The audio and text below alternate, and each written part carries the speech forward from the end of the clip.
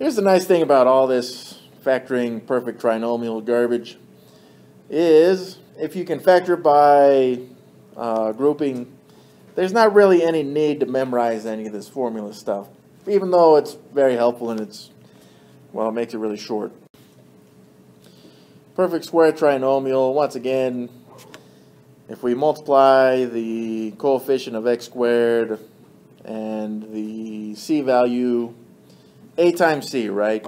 And we factor that out, and it should add up to what was our b value.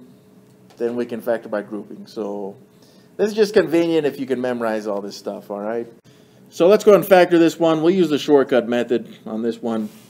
So what, what, what it was, was if you had a squared minus 2ab plus b squared, then you can just make this a minus b and squared. That's a b, sorry. So if we can know what our a and our b is, we can just plug it in to this, right? Our final answer should look maybe something like this. This is minus because the first operation here is minus. If it were plus, then it would be plus between them. This operation will always, always be positive or plus. If it's not, then we kind of have to make it that way. Kind of. All right, but whatever. So in this case, let's get rid of this guy. In this case, we got uh, two perfect squares on the ends. All right. So what this means is that the a value is going to be 3x, right? Because if if I wrote it like this, then I get what I had originally, 3x. That quantity squared would give me 9x squared. On the other hand, we have a c value, which is 5, because 25 is 5 squared.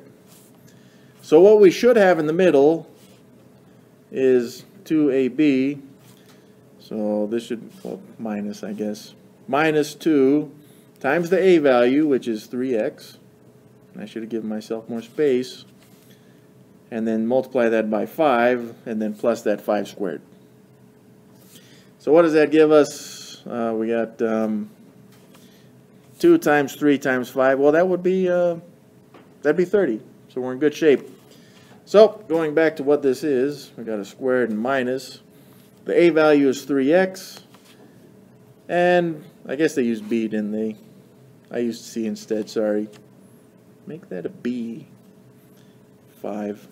I was confused because I was like, isn't B negative thirty? Yeah, sorry about that. I got that, my A's, B's, and C's mixed up from all the other stuff we were doing. My bad. It still works though.